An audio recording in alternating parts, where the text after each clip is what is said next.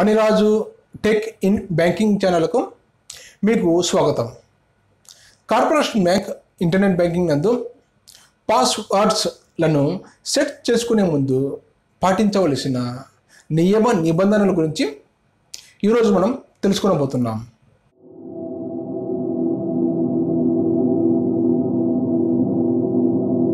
Corporation bank internet banking నందు రెండు రకాల పాస్వర్డ్స్ ఉంటాయి. మొదటి రకం పాస్వర్డ్ను సైన్ ఆన్ పాస్వర్డ్ లేదా లాగిన్ పాస్వర్డ్ అని అంటారు. ఇక రెండవ రకమైనటువంటి పాస్వర్డ్ను ట్రాన్సాక్షన్ పాస్వర్డ్ అని అంటారు.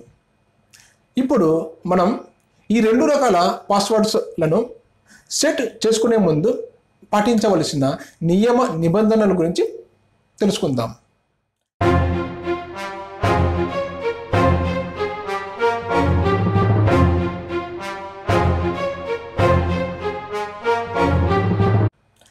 మొదటి నిబంధన వచ్చి మీ పాస్వర్డ్ నందు మీ యూజర్ ఐడి అనేది ఎక్కడ కూడా ఉండకూడదు.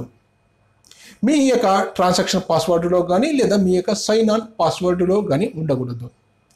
ఒకవేళ మీ యొక్క యూజర్ ఐడిని మీ పాస్వర్డ్గా సెట్ చేసుకోవడానికి ప్రయత్నిస్తే ఈ స్క్రీన్లో చూపించినట్టు ఎర్రర్ మెసేజ్ కనబడుతుంది.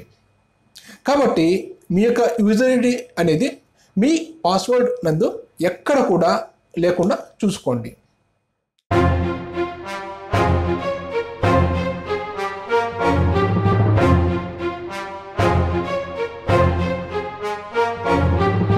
ఇక తర్వాతి నిబంధన వచ్చి మీ పాస్వర్డ్ లెంత్ మీ పాస్వర్డ్ అనేది మినిమం ఎయిట్ క్యారెక్టర్స్ తగ్గకుండా ఉండాలి. ఒకవేళ ఎనిమిది క్యారెక్టర్స్ కన్నా మీ పాస్వర్డ్ తక్కువగా ఉంటే ఈ స్క్రీన్లో చూపించినట్టు ఎర్రర్ మెసేజ్ కనబడుతుంది. అలాగే మీ పాస్వర్డ్ అనేది మ్యాక్సిమం ట్వంటీ ఎయిట్ క్యారెక్టర్స్లకు మించకూడదు. ఒకవేళ మీరు ఇరవై ఎనిమిది క్యారెక్టర్స్ కన్నా ఎక్కువగా మీరు పాస్వర్డ్ను సెట్ చేసుకోవడానికి ప్రయత్నిస్తే ఈ స్క్రీన్లో చూపించినట్టు ఎర్రర్ మెసేజ్ కనబడుతుంది. కాబట్టి మీ యొక్క పాస్వర్డ్ అనేది మినిమం ఎనిమిది క్యారెక్టర్స్కు తగ్గకుండా ఉండాలి. అలాగే మ్యాక్సిమం ఇరవై ఎనిమిది క్యారెక్టర్స్కు మించకుండా ఉండాలి.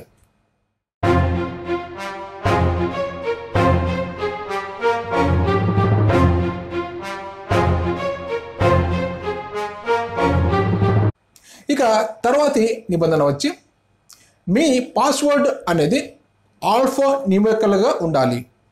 అనగా మీ పాస్వర్డ్ నందు అక్షరాలు ఉండాలి. అలాగే నంబర్స్ కూడా ఉండవలసి ఉంటుంది. మీరు కేవలం మీ పాస్వర్డ్ నందు నంబర్స్ మాత్రమే సెట్ చేసుకోవడానికి ప్రయత్నిస్తే ఈ స్క్రీన్లో చూపించినట్టు ఎర్రర్ మెసేజ్ కనబడుతుంది. అలాగే మీ పాస్వర్డ్ నందు కేవలం అక్షరాలు మాత్రమే సెట్ చేసుకోవడానికి ప్రయత్నిస్తే మీకు ఈ స్క్రీన్లో చూపించినట్టు ఎర్రర్ మెసేజ్ కనబడుతుంది. నా సూచన ఏమిటంటే మీ పాస్వర్డ్ నందు కనీసం ఒక్క స్పెషల్ క్యారెక్టర్ అయినా ఉండేటట్టు చూసుకోండి. అప్పుడే మీ పాస్వర్డ్ అనేది చాలా స్ట్రాంగ్గా కూడా ఉంటుంది.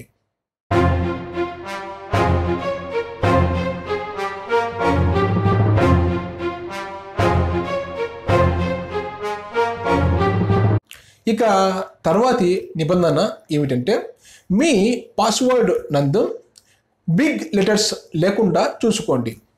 అనగా capital A capital B capital C లాగా. మీ పాస్వర్డ్ నందు కేవలం స్మాల్ లెటర్స్ మాత్రమే ఉండవలసి ఉంటుంది. అనగా small A small B small C లాగా. ఒకవేళ మీరు స్మాల్ లెటర్స్ కాకుండా బిగ్ లెటర్స్లను మీ పాస్వర్డ్ నందు సెట్ చేసుకోవడానికి ప్రయత్నిస్తే ఈ స్క్రీన్లో చూపించినట్టు ఎర్రర్ మెసేజ్ కనబడుతుంది. కాబట్టి మీ పాస్వర్డ్ నందు కేవలం స్మాల్ లెటర్స్ మాత్రమే ఉండవలసి ఉంటుంది.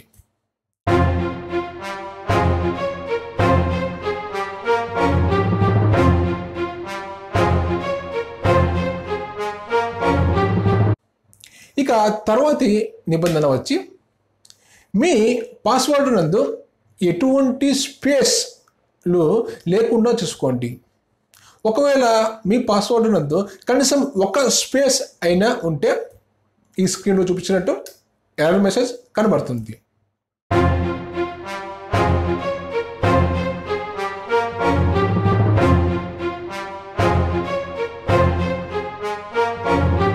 ఇక తర్వాతి నిబంధన ఏమిటంటే మీ పాస్వర్డ్ నందు స్పెషల్ క్యారెక్టర్స్ కూడా పెట్టుకోవచ్చు.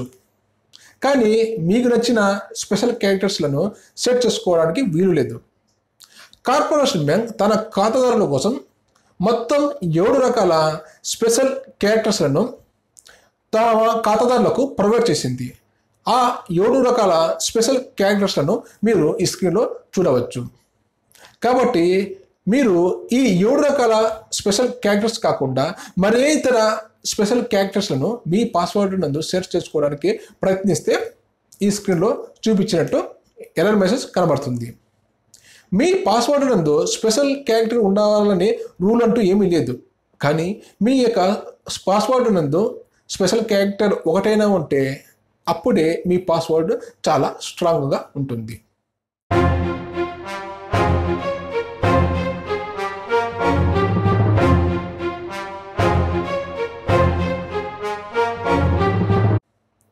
ఇక తర్వాతి నిబంధన ఏమిటంటే మీ యొక్క సైన్ ఆన్ పాస్వర్డ్ లేదా లాగిన్ పాస్వర్డ్ మరియు మీ యొక్క ట్రాన్సాక్షన్ పాస్వర్డ్ అనే రెండు కూడా ఒకే రకంగా ఉండకూడదు. ఈ రెండిట్లో కనీసం ఒక లెటర్ అయినా డిఫరెంట్గా ఉండవలసి ఉంటుంది. ఒకవేళ మీరు ఈ రెండు ర- పాస్వర్డులను ఒకే రకంగా సెట్ చేసుకుంటే ఈ స్క్రీన్లో చూపించినట్టు ఎర్రర్ మెసేజ్ కనబడుతుంది.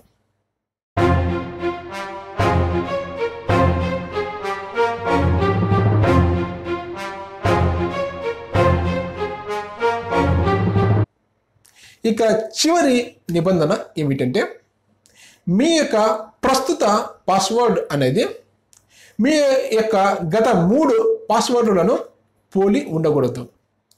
ఒకవేళ మీ యొక్క ప్రస్తుత పాస్వర్డ్ అనేది మీ యొక్క గత మూడు పాస్వర్డులను పోలి ఉంటే ఈ స్క్రీన్లో చూపించినట్టు ఎర్రర్ మెసేజ్ కనబడుతుంది. ఇప్పుడు మనం చెప్పుకున్నాం కదా ఈ ఎనిమిది నిబంధనల గురించి. ఈ ఎనిమిది నిబంధనలను పాటిస్తూ ఉండేటువంటి రెండు పాస్వర్డ్లను ఇప్పుడు మీకు తెలియజేయబోతున్నాను.